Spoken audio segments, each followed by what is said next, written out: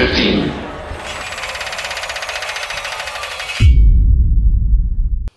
Well, thank you. Uh, yeah, so I, have been asked to talk about, talk about Brexit, and I imagine, given that this is in Notting Hill, there are probably almost as many people here against Brexit as there are against factory farming and uh, against uh, sex discrimination in favor of democracy. So I, I, imagine most of you will be on, on my side of the debate, and therefore what I'm going to structure it uh, as is three points. Firstly, what's wrong, some of the things that are wrong with Brexit that even you may not really know about yet. Secondly, why, despite that, Brexit appears to be inevitable. And thirdly, what could yet happen in the next six to nine months that would stop it. So let me start with uh, what is wrong with Brexit that you may not uh, be aware of. Uh, well, firstly, uh, as, as, we like to tell stories in, the, in, these things, oh, sorry, that wasn't, that was supposed to come up in a minute, but I'll come to that. Uh, I was actually going to start with a more personal, subjective view. As you can probably tell from my name, uh, I didn't come to Britain with the Norman conquest, and neither did my family. Uh, I, in fact, had four passports by the time I was 19, and therefore I'm quintessentially a citizen of the world, and therefore, according to our Prime Minister's official post-Brexit, post-Brexit rhetoric, if you're a citizen of the world, you're a citizen of nowhere who does not even understand the word citizenship, at least in the context of Britain. Now, as a person who's lived here for 50 years and who chose it consciously as my home when my parents moved to America, and who's felt immensely privileged to bring up a family here in Notting Hill the most excitingly cosmopolitan area of London, which is the most excitingly cosmopolitan city in Europe, which is the most excitingly cosmopolitan continent in the world, I found Brexit a shattering experience. And therefore, uh, with great regret, uh, I've just acquired Polish citizenship so as to remain a European. Now, who would have imagined before 2016 that anybody, even vaguely intelligent and rational, which I consider myself to be, might consider a Polish passport to be more valuable than a British one? But that's where we are. But now for a more objective view, and that's where uh, this comes in. But even before this, I actually have, have a prop that I brought along with me. Today's Times, the front page of today's Times, Brexit costs households £900 a year, says Carney. Uh, I arranged with Mark Carney, my friend, to give that speech yesterday just so it could be on the front page of the Times. Now, isn't that just the discredited so called Project Fear uh, that failed to win the voters over in the election? Well, actually, no, because Project Fear was not discredited. In fact, it was uncannily accurate, which is what this chart uh, is supposed to illustrate. This was the chart produced by the uh, Treasury in the month before the referendum to show what they would estimate would be the losses to the average British household of Brexit, or the worst case scenario of Brexit, so called WTO membership, about £5,000 a year or 7 or 8% of GDP. Now, was that discredited, £5,000 a year when this said only 900? Not at all. If you look at the end of it, at the top of it, that was over a period of 15 years. So if you think about a loss of 8% of GDP over 15 years is equal to how much per year? About half a percent a year. That, as Mark Carney said yesterday, is exactly what has already been lost in the last two years uh, of, of, of, of post-Brexit referendum, half percent each, 1% over two years, which is what 900 pounds of household comes to. In other words, the Project Fear projections have proved uncannily accurate so far, and that's even before Brexit has happened. Now I'll give you a simple and quick explanation of why this has happened before moving on to the next part of why, despite this, it seems inevitable. Uh, why this has happened is really explained in the next three slides that I'm going to show. This shows GDP per head, which is roughly, which is the best uh, indicator of living standards in a nation or productivity in a nation over a long period for all the six, the six biggest advanced economies in the world. And as you can see, the UK, and this is over the last 25 years, since 1993, in the 25 years from 93 to 2007, Britain was actually the best performing economy in the world. Better than the United States, better than Germany, far better than France, Japan, or Italy. Why 1993? Was 25 years, a convenient period, but much more significantly, 1993 was the beginning of a golden age for the British economy for two reasons, two things that happened at the end of 1992. First was so, the so, so-called Black Wednesday incident, when Britain for the first time broke out of any kind of link with the US dollar, the Deutschmark, the gold standard, and began to operate its own independent monetary policy a privilege that was denied to other European Union members who all joined the euro, which was a big mistake, as I anticipated at the time eh, in, in, in the, my columns in the Times. And incidentally, among the greatest proponents of Britain staying in the euro or be, being part of the euro, being part of the Deutschmark, were Norman Lamont and Nigel Lawson, two of the great uh, advocates of Brexit today. Uh, so talk about wrong then, wrong, uh, wrong now. They were the people who were wrong then, wrong now. The other thing that happened in January 93 was the completion of the single market program. Now, the single market program was designed by Margaret Thatcher to change the European Union into an organization that served Britain's interests as opposed to German or French interests, because Britain was a producer and an exporter of financial services, business services, architecture, art, and so on, other service industries which were not covered by the common market before 1993. So from 1993 onwards, Britain had a unique advantage within the EU of benefiting from the single market program designed by Margaret Thatcher for Britain's interests, but not suffering from the downside of being locked into the euro. In other words, Britain was actually able to have its cake and eat it for that 25 years. And that cake has now been thrown away. Now, to see what impact that cake is likely to be, uh, have, uh, throwing away that cake is likely to, to have, look at these other next two charts. So this is 93 to 2000. Look again at the blue line. Britain, before it joined the common market in 1975, it was the sick man of Europe, by far the worst performing economy in, in, in Europe before it joined the common market. And then in the period between 75 and 93, when it was in the common market, but before the single, between, uh, before the single market, it sort of roughly performed on average in line with the rest of the EU. So what that history suggests, it doesn't prove it, of course, but what it suggests is that I say Britain was a unique beneficiary of the EU as it was set up before, of the cake that we were eating and having and have now thrown away. Now, why did voters ignore this evidence? Well, partly it's because of the pathetic Remain campaign and especially Cameron's unwillingness to take on Boris Johnson, Gove, and Farage in that campaign because he was so complacent. It was also because what I think was the BBC's shameful confusion of honest and uh, objective reporting with so called impartiality, which means giving equal time to people who say the earth is flat, which is exactly what they did in the referendum campaign. But also, it's because most voters actually did follow their economic interests, but those who wanted Britain to prosper were overwhelmed by those who really didn't care, very much along the lines that David Runciman was uh, talking about. What do I mean by that? Well, young people voted overwhelmingly against Brexit by three to one among the under, uh, under 25s and almost two to one among all people under 45. And so did voters who were in the workforce, who were actually working or looking for jobs, and were thus, therefore sensitive to the economy.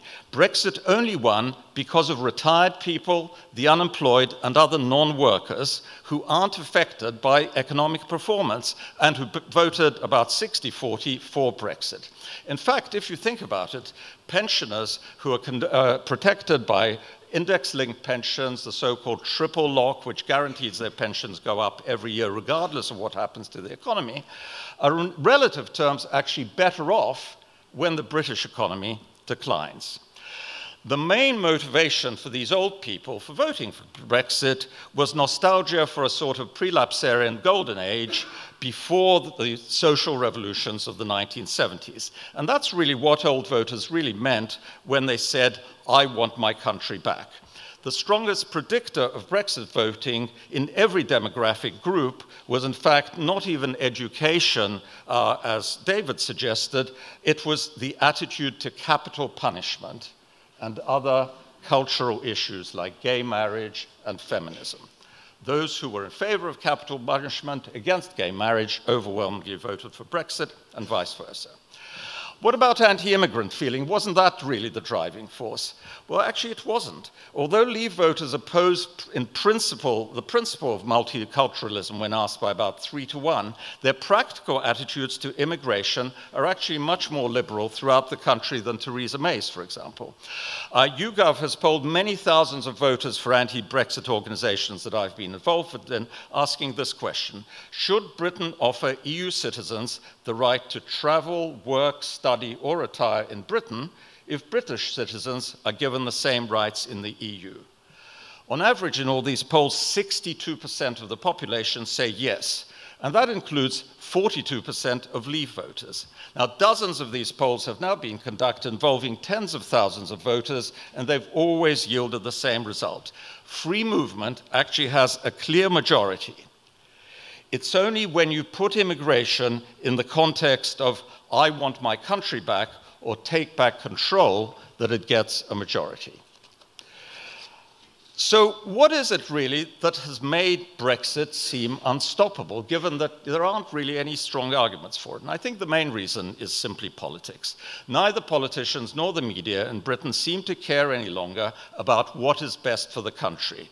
Politics now concentrates entirely on what's best for the Tories, or best for Labour, or best for Theresa May, or Boris Johnson, or Jacob Rees-Mogg.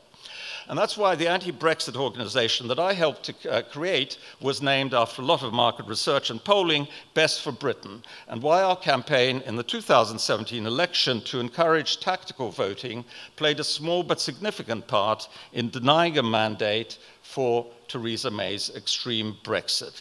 It's also perhaps why an absence of any association with political parties or political leaders, either past, present, or future, on which we uh, decided, has paradoxically helped Best for Britain attract sufficient funding to become the main funder of all the other anti Brexit groups. But this leads me to the central paradox of trying to stop Brexit there are probably enough MPs who actually do care about what's best for Britain and know that Brexit is profoundly against Britain's natural, national interest to stop the process. But they won't defy their party leaders unless they feel some kind of backing from voters. And this creates a chicken and egg problem. Politicians will only move against Brexit if and when they feel a change in public opinion.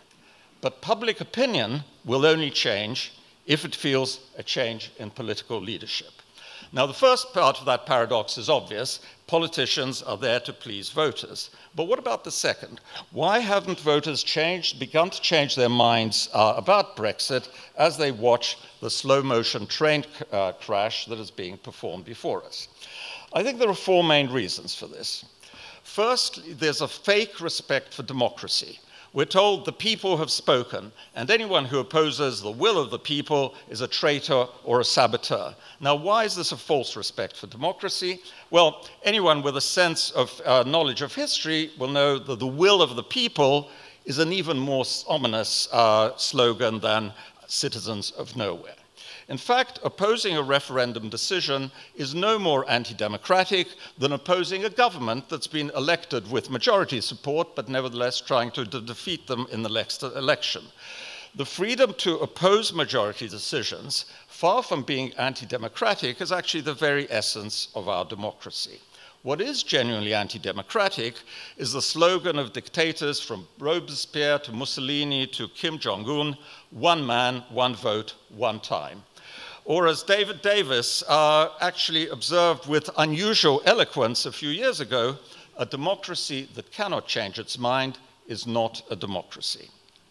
So that leads me to the second uh, possibility. Assuming that most voters unlike uh, John Humphrys and other presenters of the Today program, are not so stupid as to confuse democracy with majoritarianism, what is it that's preventing some kind of public uh, backlash against Brexit? Well, political consultants tell us that voters don't like to change their minds. Even when conditions change, People don't like to admit their errors. But I don't find that at all uh, convincing because, after all, incompetent governments are booted out all the time. So let's move on to a third related explanation for why there hasn't been a change in public opinion. The referendum was a traumatic experience, not only for Remainers, but for Leavers too. It divided friends and families, setting children against their parents and grandchildren. Most people simply don't want to repeat that agony. And in addition to the emotional opposition to revisiting the referendum, there's also a principled, or at least an apparent principled objection. The referendum was obviously the wrong way to decide a complex issue like EU membership. It therefore seems superficially logical that holding a second referendum would be doubly stupid and wrong. And yet, respect for democracy also seems to imply that a referendum decision can't be reversed without another referendum. So here we have another chicken and egg problem. It was wrong and stupid to hold the 2016 referendum, but in that case, holding a second referendum would be even more wrong and stupid. Yet you can't undo a referendum without a referendum, and therefore we're stuck. Which brings me to the last and I think most important uh, impediment to any change in public opinion, and then I'll get to what actually still could change. That impediment is that if there's no acceptable way of reversing a referendum decision, Brexit becomes inevitable. Even if it's bad, even if it's wrong, it's inevitable. And if something is inevitable, why bother to question it? Why bother to think again? Stiff upper lip Britons say, keep calm and carry on and put up with it, however bad and stupid it is. All of us in the anti Brexit movements have spent the past two years puzzling over these paradoxes, but a Gordian knot resolution now seems increasingly plausible. Britain, after all, is still a parliamentary democracy, and politicians will ultimately be judged on how they do affect the country's future, not just how they interpret a referendum which is receding into history and which most voters would actually rather forget. Which brings me to the final point what could still happen to stop the Brexit juggernaut? Well, the full English Brexit uh, that was personally favored by Theresa May and other hardline nationalists came off the political menu when she lost her majority last June, and that was a big breakthrough. Since then, the most likely outcome has become some variant of what's called the Norway model, a long, open ended transition period during which very little changes in practice, but Britain formally gives up its EU membership and therefore loses its voting rights, becoming a rule taker instead of an important participant in framing EU law. Now, Norway joined the European Economic Area, the EEA, which you may have read about, along with Sweden and Finland in 1992, in what was intended at the time as a one year transition period before deciding on EU membership. In Norway's case, that, period, uh, that transition period is now in its 27th year. This is why I prefer to call the Norway model fake Brexit or perhaps better still, for those of you of roughly my age, Hotel California, you'll remember the Eagles song, you can check in, but you can't check out. And that's why Corbyn describes, quite rightly, I think, the EEA as a demotion for Britain from rulemaker to rule taker, and why Jacob Rees-Mogg, for once say, uh, saying something accurately, calls EEA membership a reduction of Britain to a vassal state. That is what EEA membership would be. Uh, and that, I regret to say, that kind of fake Brexit, that endless transition, I regret to say, is now the most likely outcome for Britain, and bizarrely the one favored by most business leaders. That's simply because all the other options are obviously even worse, since they'd involve Britain excluding itself completely from European markets and regulations, and yet and simultaneously developing purely British regulations on finance, medicine, food standards, agriculture, immigration, airline safety, and so on and then having to align those standards with all the other regimes operating in the EU, the US, China, and elsewhere. Now, this kind of fake Brexit, this endless transition, would obviously be unsatisfactory for both Remainers and Leavers, even though it is the most likely outcome. Which brings me finally to a different alternative, which is becoming more probable day by day.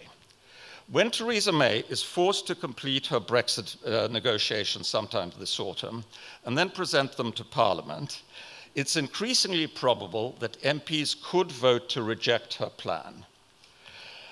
Now, the government's position on that at the moment is that if, if Mrs. May's deal is rejected, that will simply mean a no deal Brexit in March 2019. But the claim that no deal is the only alternative to a bad deal is obviously a bluff. If there's a parliamentary majority to vote down Mrs. May's deal, the same majority will be able to insist that the alternative to her unsatisfactory proposals is simply to stay in the EU rather than to crash out of it. Instead of May's absurd slogan that no deal is better than a bad deal, Parliament could easily decide that no Brexit is better than a bad Brexit. And if a parliamentary majority could coalesce to stop Brexit, then our MPs would almost certainly feel that a popular vote is needed to reverse the referendum of 2016. At this point, Labour would no doubt demand a general election, but the Tories would almost certainly opt for another referendum, which could probably be backed by the Scottish nationalists and the Lib Dems.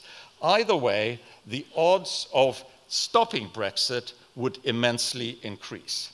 The key to whether the sequence of events actually happens will be the Labour Party and Corbyn. If Labour decides to vote against whatever deal Mrs. May manages to stitch up by the autumn, it will only take a handful of Tory rebels to stop Brexit. If, on the other hand, Labour supports May's Brexit or abstains on it, which amounts to the same thing, then there would be no point in any Tory rebels defying their whips because in the absence of a unified opposition, the government would be guaranteed to win any parliamentary vote anyway. So the key to stopping Brexit over the next six months will be to pile pressure on MPs to vote against whatever deal Mrs. May brings back to Parliament in the autumn. This pressure will be especially important in Labour held marginal seats. And the most marginal seat in the country, as a result of Brexit, is right here in Kensington. So you have six months to make your votes count. Thank you very much.